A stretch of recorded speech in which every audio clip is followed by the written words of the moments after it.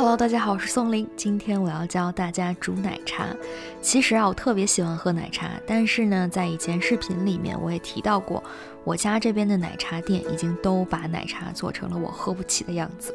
还好我是个够执着的吃货，所以呢，在我连续折腾了一个多月，消耗掉了家里茶叶库存的一半，然后喝掉了无数杯失败品之后，终于被我研究出很厉害的配方。嗯，其实也就四种配料。首先把三百五十毫升水倒进小锅里煮开。在这一个月里面，我试验了十几种茶叶，包括各种红茶、绿茶、水果茶。后来甚至连玄米茶、大麦茶、玉米茶我都没放过。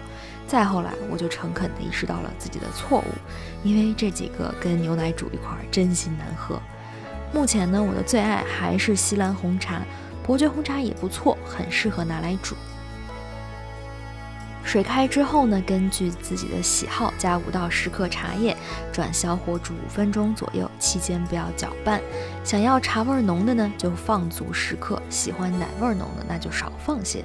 不过也不要少于五克，不然你直接去热杯牛奶喝好不好啊？现在有些奶茶店说自己只用牛奶煮茶，不加水。然后呢，这个听起来很美好的口号，让我白白搭进去两升牛奶。牛奶本身已经很浓了，直接用来煮茶会让茶叶的香气非常难释放出来。所以呢，除非你是要煮拆 T，也就是印度奶茶之类香料很重的茶叶，我还是建议大家先用水煮茶，然后再加牛奶。五分钟计时结束之后呢，倒入牛奶，然后稍稍的搅拌一下就可以。小火再煮一分钟，等到牛奶温热之后，立刻关火，千万不要把奶煮沸。喜欢甜的呢，现在可以加糖或者蜂蜜。我用的是自制的奶油焦糖酱，食谱链接我会放在信息栏里。